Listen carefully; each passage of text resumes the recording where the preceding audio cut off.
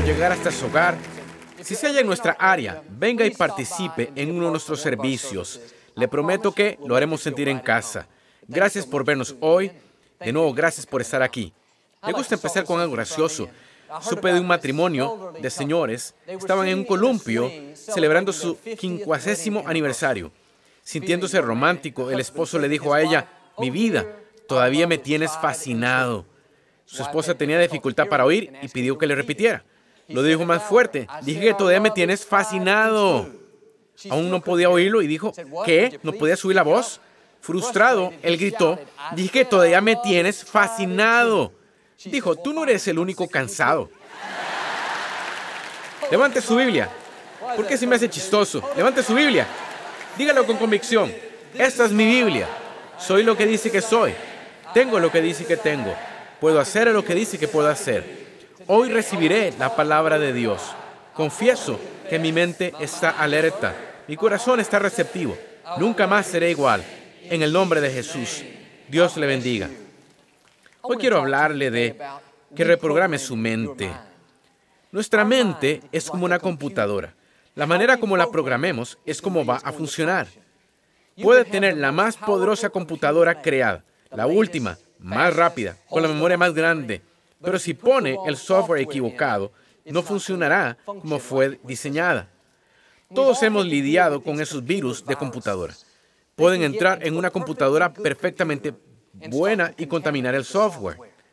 Pronto la computadora es lenta, no puede entrar en sus archivos. Estos problemas ocurren no porque esté defectuosa o mal hecha, no, el hardware está bien, sino porque alguien reprogramó el software. De algún modo el interior se dañó. Ahora el software está contaminado. Y de igual forma, cuando Dios lo creó, retrocedió y dijo, otra obra maestra. Su hardware es perfecto. Es del tamaño correcto, la nacionalidad correcta, tiene los dones correctos. Y no solo eso, Dios le puso el software correcto. Desde el principio, lo programó para que fuera victorioso, sano, fuerte, creativo. Su software original dice, todo lo puedo hacer en Cristo. Él programó, lo que toques prosperará y triunfará. Él programó la cabeza y no la cola, prestar y no pedir, victorioso y no víctima. Fue programado para vivir en abundancia, victoria, lleno de fe. Así fue diseñado por su creador. Pero no siempre experimentamos esta vida abundante. Es porque hemos permitido que los virus contaminen nuestro software. Pensamos, nunca tendré éxito, no tengo tanto talento, nunca venceré esta adicción, llevo mucho con ella. Soy lento, torpe, sin atractivo, nada bueno hay en mi futuro. Al infectarse nuestro software, andamos con una autoestima baja, negativos, no creyendo que los sueños se realizarán, no esperando que los problemas cambien. Pero tengo buenas nuevas. No hay nada equivocado con usted. Como esa computadora, usted no es un error, no está defectuoso. El problema es su software. Necesita deshacerse de los virus. Todo el día piense en lo que su creador dice de usted.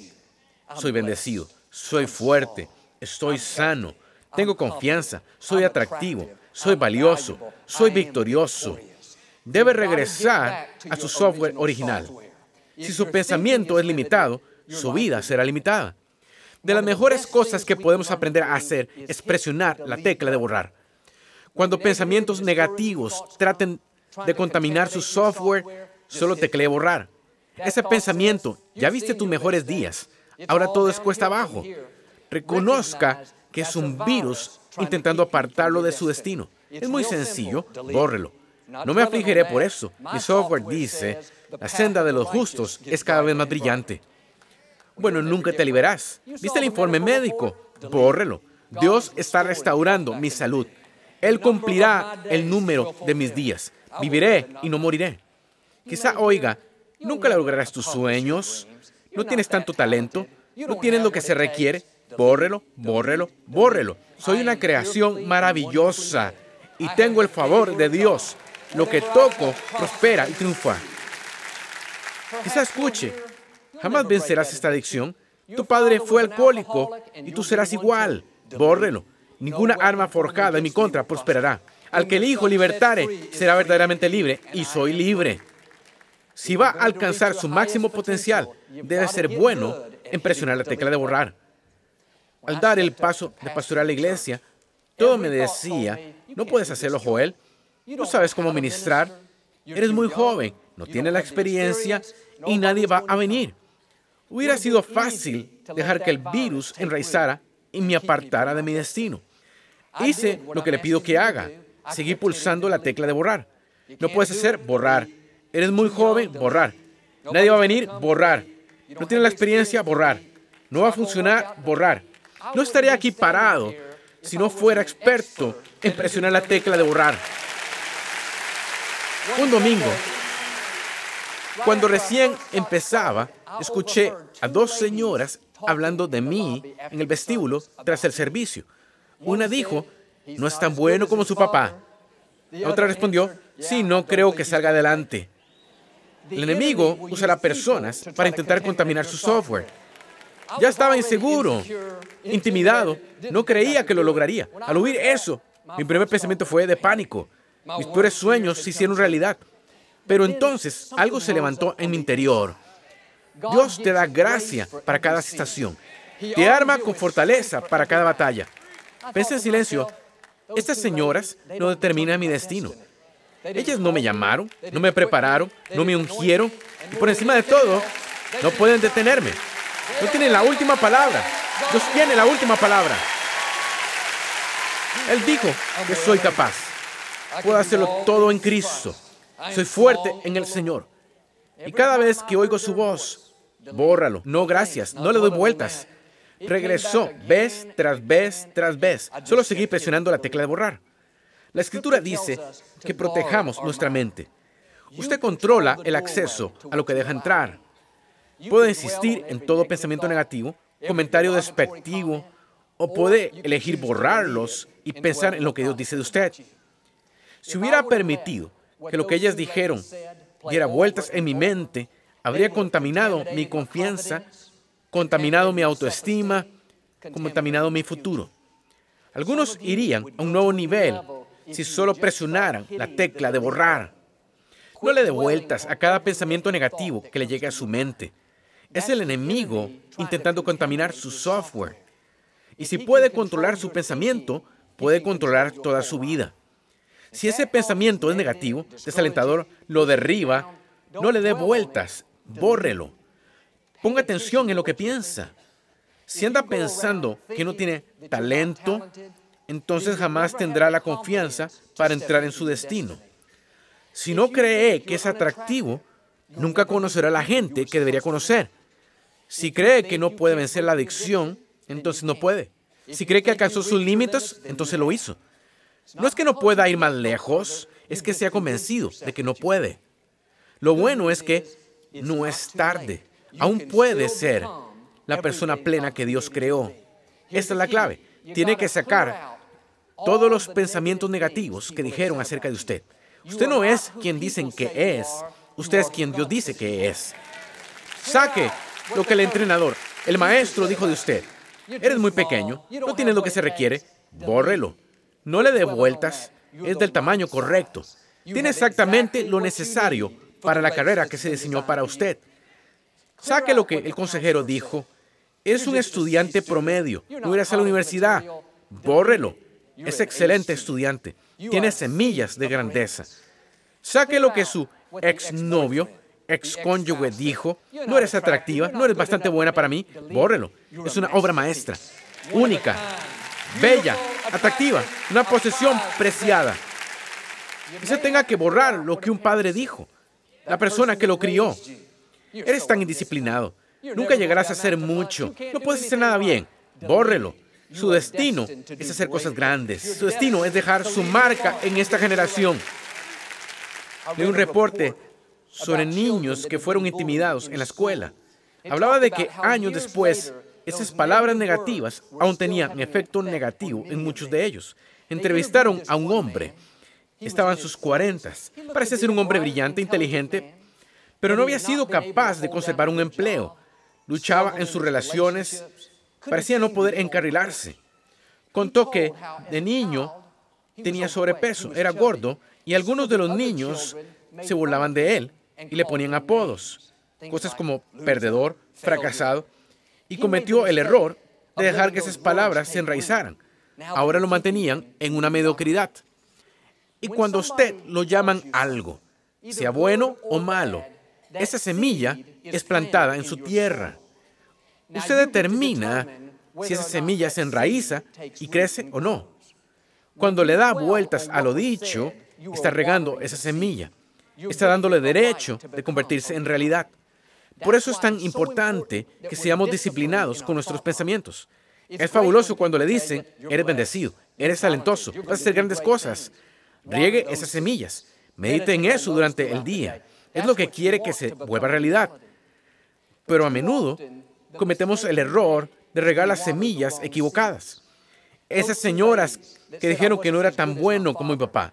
Si yo hubiera regado esa semilla, jamás habría logrado despegar. Y la verdad es que no habría sido su culpa. No puede hacer que una semilla enraíce en mí. Ellas solo pueden sembrar la semilla. Usted tiene el control completo sobre cuáles semillas van a enraizarse y crecer en su tierra. Muchas veces culpamos a otros. Estuvieron hablando de mí, intentaron hacerme ver mal, me están criticando. No, déjelos hablar lo que quieran. Usted controla su propia tierra.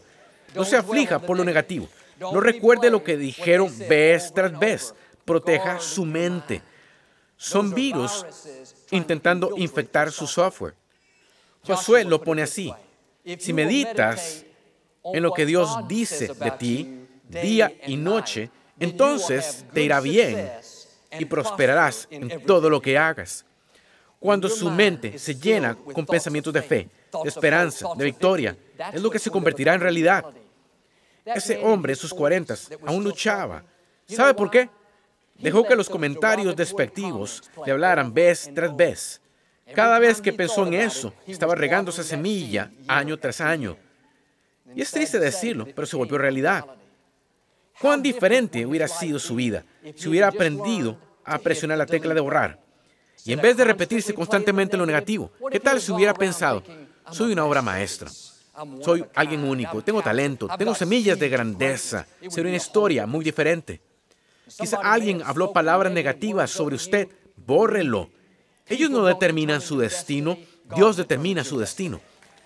Por eso empezamos cada mensaje diciendo, soy quien Dios dice que soy. De hecho, decimos, no soy quien mi maestro dice que soy, no soy quien mi cónyuge dice que soy, no soy quien los críticos dicen que soy, soy quien Dios dice que soy. Me gusta llevarlo un paso más allá. No solo soy quien Dios dice que soy, sino puedo hacer lo que Él dice que puedo hacer. Significa que sabemos que fuimos programados para la victoria programados para reinar en la vida, programados para vencer obstáculos. Muchas son las aflicciones del justo, pero de todas ellas nos libra el Señor. Lograremos nuestros sueños, conoceremos a la gente correcta, entraremos en la plenitud de nuestro destino. Y cuando piensa así, todas las fuerzas de la oscuridad no pueden detenerlo. Amigos, la verdadera batalla tiene lugar en su mente. Si está derrotado en su mente, ya perdió. Debe deshacerse de los virus. Si regresa al software original, puesto por su creador, irá donde nunca ha soñado.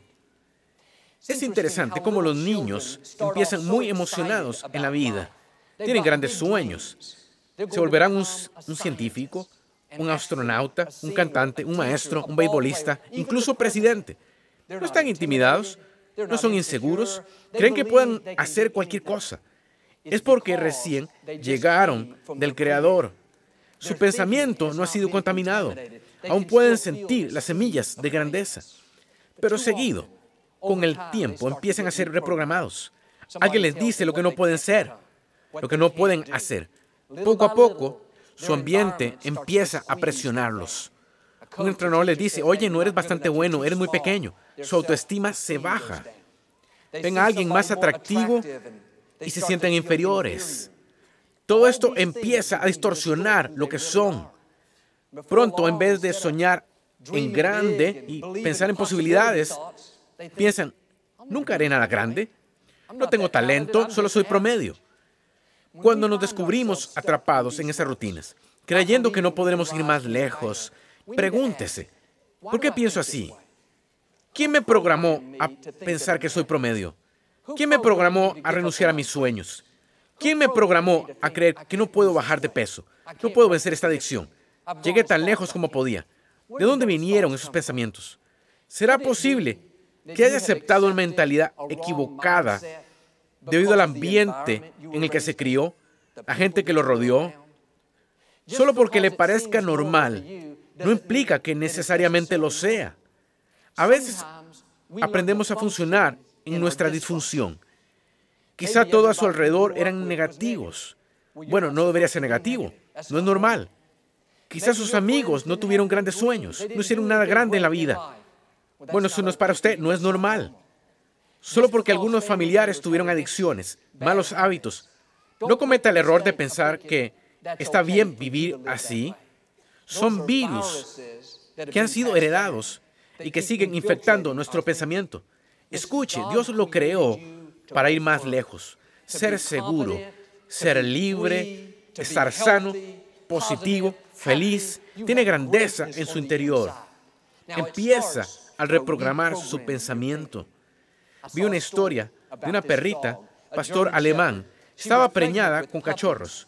Y un día estaba cruzando la calle y la atropelló un auto.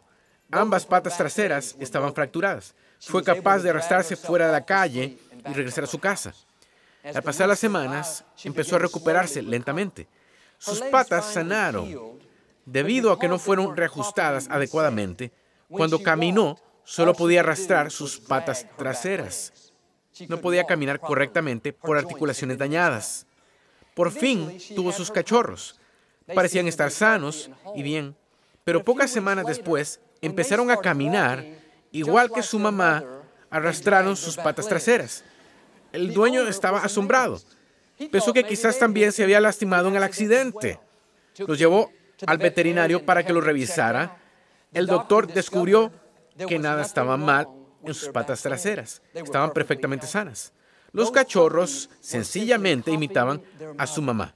Era todo lo que habían visto. En su mente era la forma como debían caminar.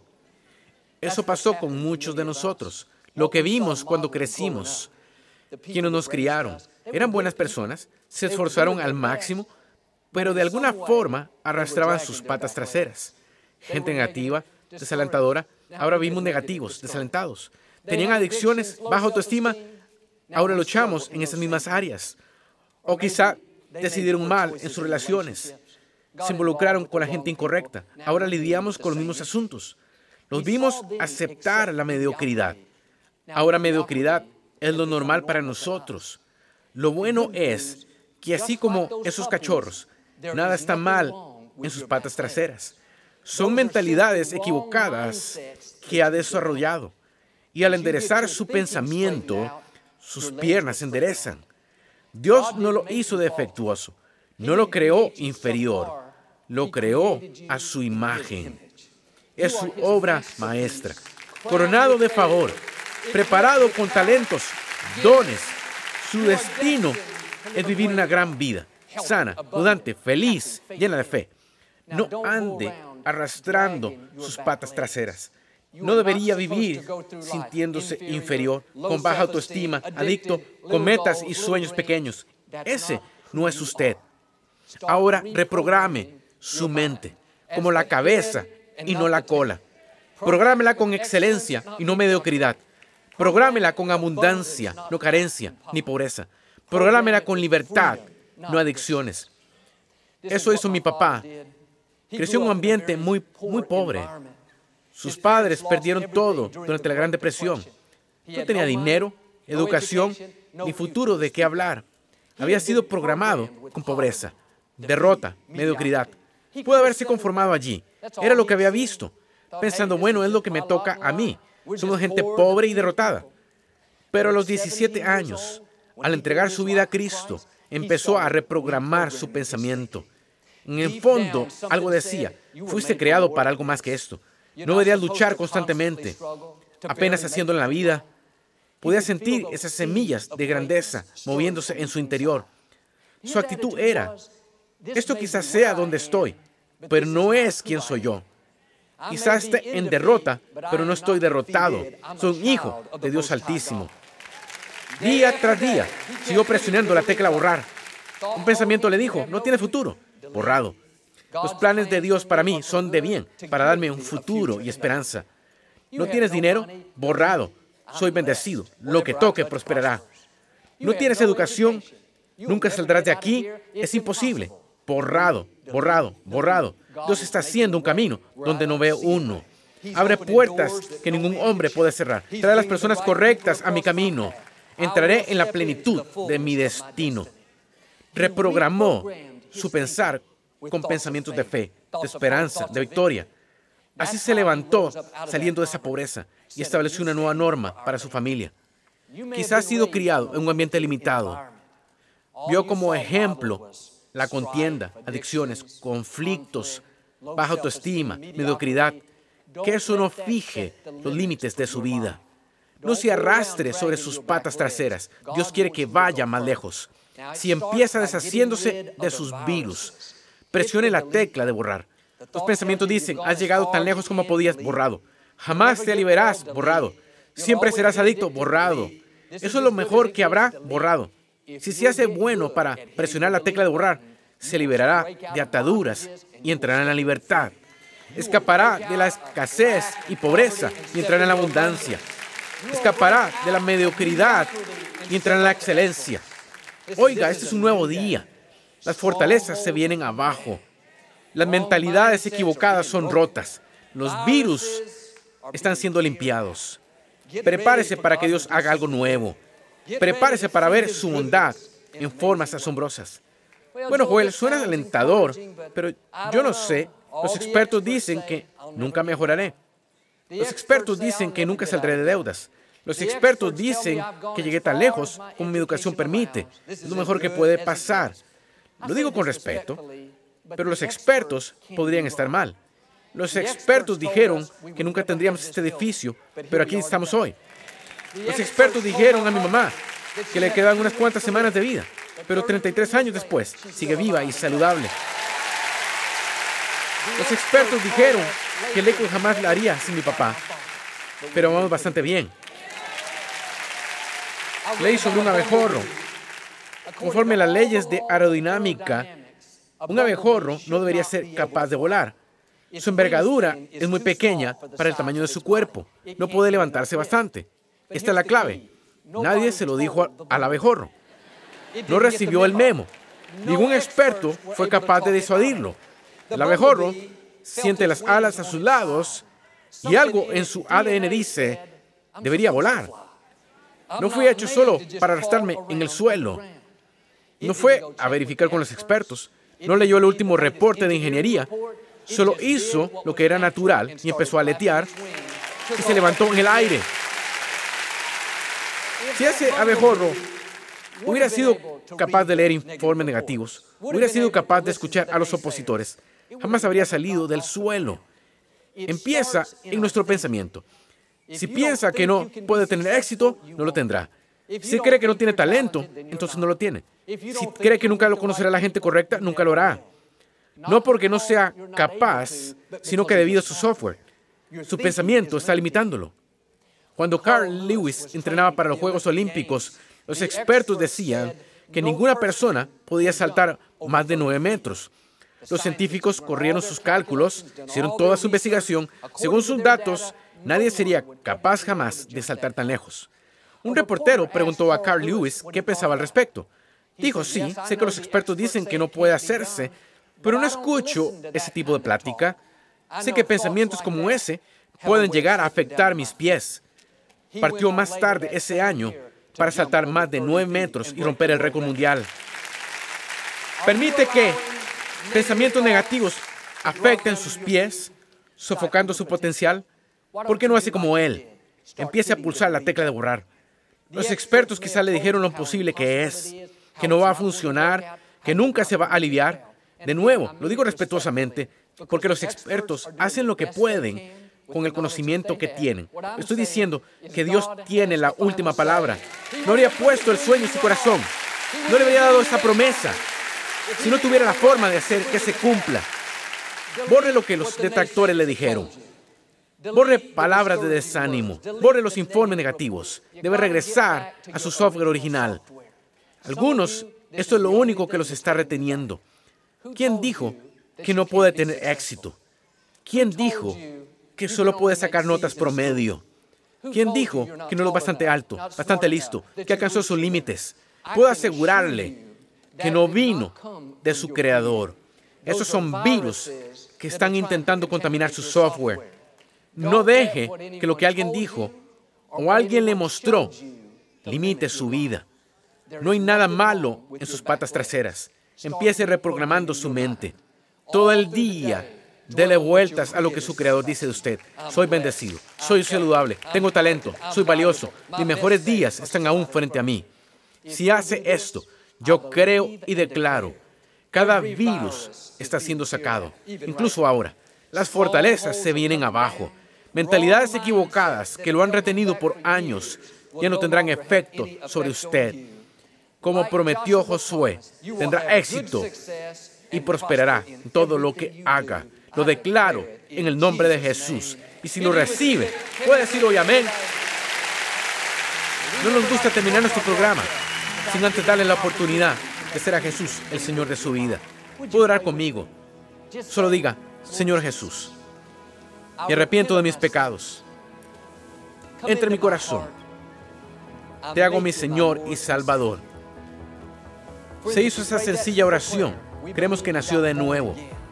Busque una iglesia donde enseñe la Biblia. Mantenga a Dios en primer lugar y le lleve a lugares que nunca ha soñado.